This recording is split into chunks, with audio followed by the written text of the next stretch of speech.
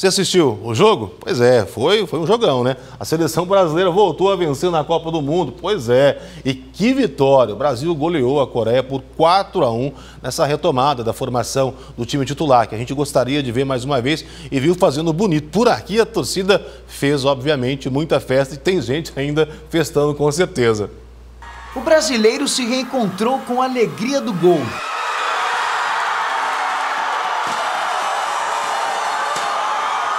Mas a animação começou muito antes da seleção entrar em campo. O apito já podia ser ouvido de longe. Gabriela veio ao Mercadão com as amigas assistir a partida contra a Coreia. O local virou um badalado ponto de encontro da torcida em Rio Preto. Fica até difícil de encontrar alguma mesa livre.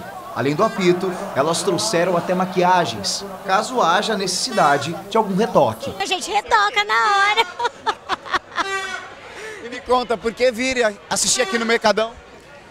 O espaço, as pessoas, o telão, né? O telão é o que chama mais atenção. Não apenas as meninas estavam animadas. Camila nem acreditava que estava tendo um momento de descontração em plena segunda-feira. Eu não imaginei que ia ser tão bom desse jeito, viu? Foi esse ano tá sensacional. Para receber o público neste período de jogos de Copa, o Mercadão montou duas áreas. Nós estamos nessa segunda parte, idêntica da primeira. Aqui a gente percebe também toda essa movimentação e ansiedade do público presente. Inclusive, teve gente, ó, que trouxe até a bandeira do Brasil. Antes do jogo começar, a gente quer saber qual que é o palpite. Ah, 1x0, né? 2x1.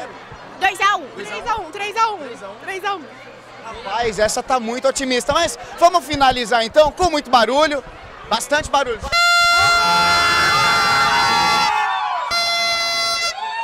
O Vladimir trouxe a família toda. O advogado até deixou os filhos pintarem os cabelos. A cor escolhida? O verde. Tudo isso para trazer muita sorte aos jogadores. O que que você achou do cabelo do teu filho? Tomara que seja só pro jogo. Desejo que seja só pro jogo, depois para, né? Lavar o cabelinho, manter o cabelinho padrão, tá ótimo, né? Gabriel adorou a ideia de pintar o cabelo. E com o resultado de hoje, talvez a cor fique na cabeça até sexta-feira. Esse cabelo fica até quando, assim? Ah, ó, tomar banho sai. Infelizmente. Se trazer sorte pro Brasil, tá valendo. É. Tá valendo. Tá. É isso. É. O Hexa vem? Tem. Levando em consideração que só daqui quatro anos de novo a gente tem que aproveitar. O Hexa vem, gente. Força. Quatro anos, vai ter coragem de pintar o cabelo de novo? Ah, vai. Se depender da mãe deles, vai sim.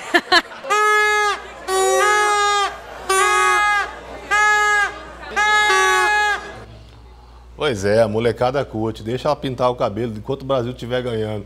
E vamos torcer para que isso continue acontecendo e que o Hexa venha com certeza.